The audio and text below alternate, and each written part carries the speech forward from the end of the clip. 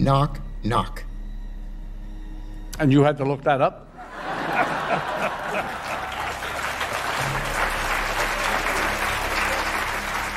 I want to get it right. Knock, knock. Who's there? It's the police, ma'am. Your son's been hit by a drunk driver. He's dead.